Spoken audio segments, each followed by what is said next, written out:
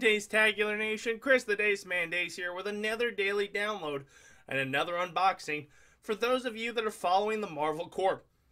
This week on Marvel Corps, well, actually, this box, uh, it is Rivals. I think that's the theme. It makes sense. So, let's see what's in the box. What's in the box? Let's go ahead and dive right into this month's Marvel Corps box.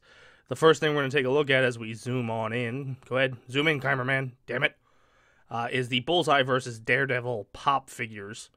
Two for one this month, which is pretty awesome. Next, we're going to move over to the exclusive comic book featuring the Inhumans versus the X Men with the 01 variant edition. Then Captain America Red Skull, Red Skull Weeble Wobble action thingy bobbers. Over to the patch, which is Iron Man and Ultron. Then to the pin, which is Red Hulk and Green Hulk. And then when we pull the camera out, damn it, Steve, pull the camera out. We see the Spider Man versus Green Goblin t shirt. Yay! With the pop figure versions of them. And that's this month's crate. There you have it. The Marvel Corps box for this bi monthly unveiling is a quarterly.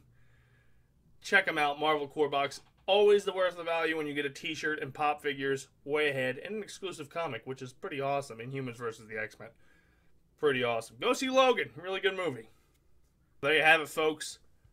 Your daily download. Follow us on Twitter at the Daceman Show. Follow me on Twitter at the Daceman.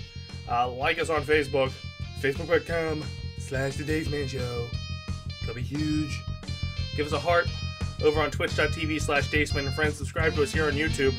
And if you missed everything, thedacemanshow.com. So for the few, for the proud, and for the daystacular, you've just been fed your daily download.